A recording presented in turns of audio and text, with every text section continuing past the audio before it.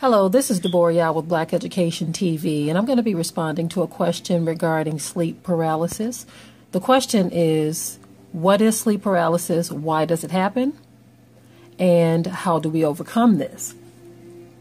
First, I'm going to read the definition provided by the medical establishment. It says that sleep paralysis or being unable to move upon waking may be due to narcolepsy. Okay, so now I'm going to give you the definition of narcolepsy to help you understand again what uh, sleep paralysis is from a medical standpoint, and then I'm going to go into what it actually is.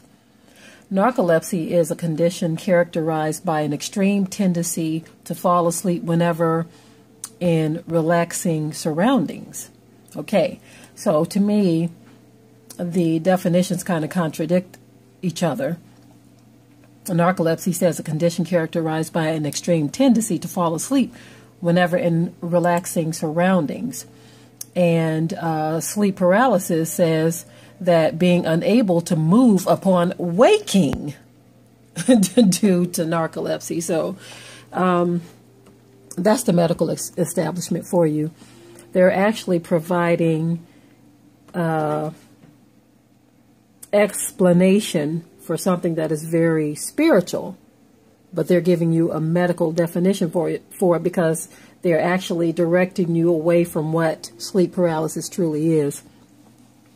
Many of us have experienced sleep paralysis. Um, I see more and more uh, conversation and dialogue about it, more than I've ever seen before. And I think because of the internet, um, more and more people are able to share their experiences and are coming into the realization that this is not a medical condition at all because there are things that take place during an episode of sleep paralysis, as they call it. Um, from my standpoint, and in my opinion, this sleep paralysis, as they call it, is actually a demonic attack on your body, and in some cases, your mind as well. There are things that are taking place. Uh, some people um, are experiencing sexual encounters uh, where it's just them present, but uh, some type of demonic force is, um, I would say, spiritually raping them. Uh, some people are having uh, their mouth covered by an invisible hand where they're unable to speak or do anything. Some people have um, an impression on their chest where it appears as though, or it feels as though something is sitting on their chest and they're unable to move. Um, they're being held down. Um, some people go through breathing episodes where it's something actually covering their nose and mouth and they're unable to breathe and they're fighting. Various different experiences with this sleep paralysis where the individual is unable to move because their body is being attacked by an invisible force. And like I said, more and more people are starting to talk about this because more and more people are starting to experience these demonic attacks on their person, on their body. And some people buy into the medical um, explanation for it because they don't want to believe anything else, you see. But a lot of people are starting to realize that what grandma told them was true that there is a demon riding them, there's a demon attacking them. A lot of people don't want to believe in demonic encounters and so they they would prefer to believe what the medical establishment is saying but you have to understand that these demonic attacks are happening for a reason. They are happening for a reason.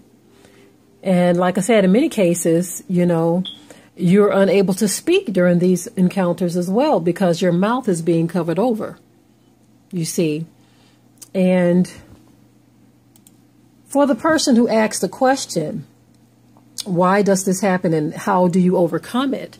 Well, the why is demonic attacks are just that. They're attacks. And no one is um, excluded from getting these. Even a person who is spiritual um, may not get the sleep paralysis attack, but they may get some other form of an attack.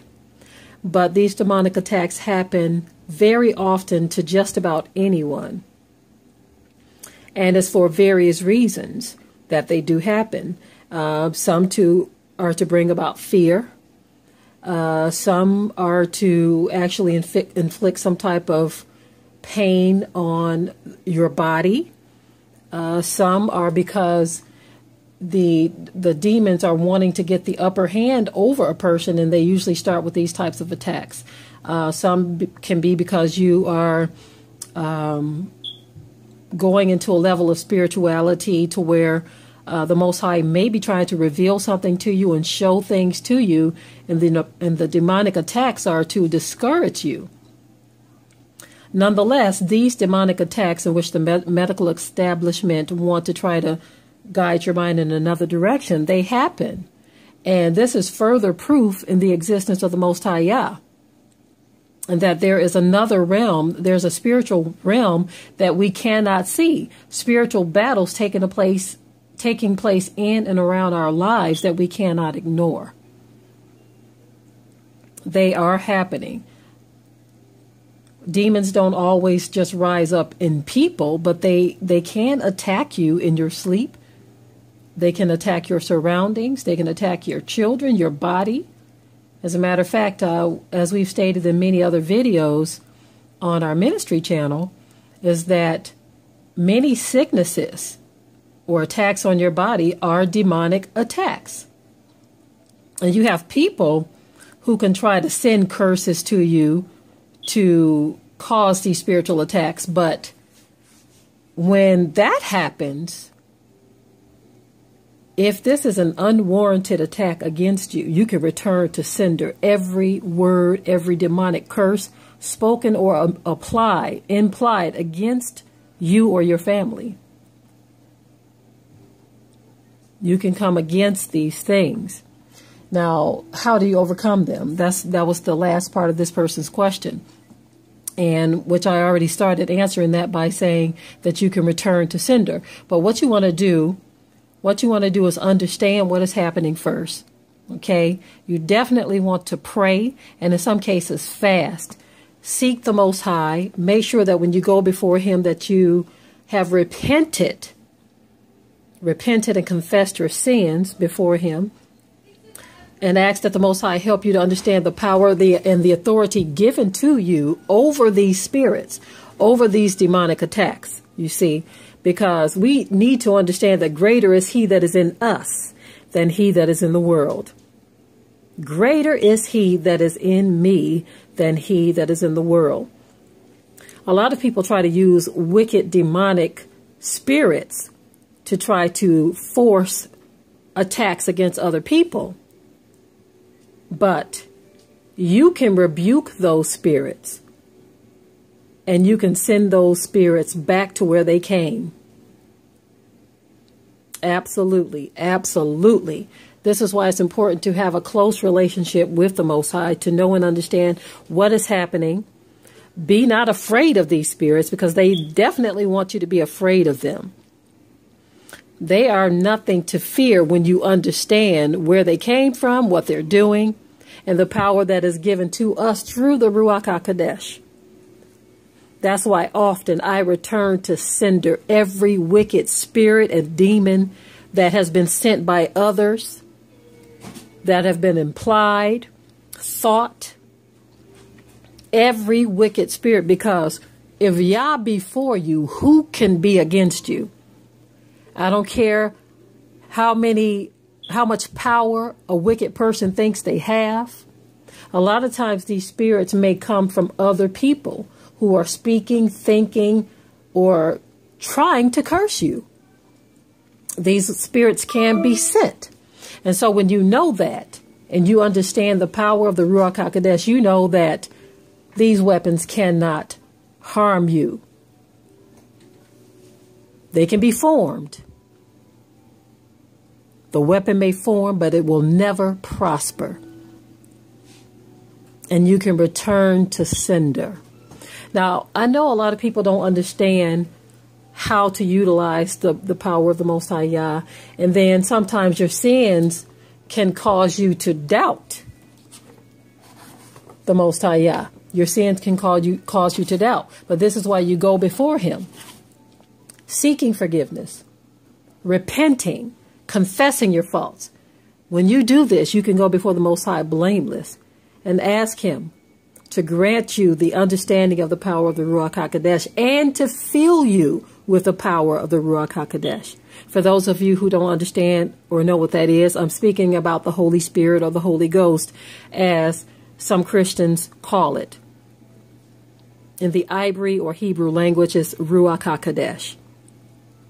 You see, and so I hope this answers the question to the person who wants to know and understand what sleep paralysis is, it's a demonic attack on your body that the medical establishment has tried to give a medical explanation for when really it's um, a demonic attack. And you can overcome it by the power of the Ruach HaKodesh or the Holy Spirit. You see, get in the Word, and all thy getting, get understanding. Don't just read the Bible, study the Bible. And if you lack understanding, pray and ask the Most High to give you understanding. You see? So with that, I'm going to go ahead and close out this video. There's a whole lot more we can say on this. Um, if you haven't already, you can go to our channel, The Watchman Reports. And uh, we have many videos that we've talked about various things like this. Um, two off the bat that I can think of is opening the door to demons and closing the door to demons. Those are two right there that I can think of, but I know that we've talked about it in many other lessons as well. So if you want to understand a little bit more about demonic warfare, then those are two good places to start. Okay? I hope that answers your question. Shalom.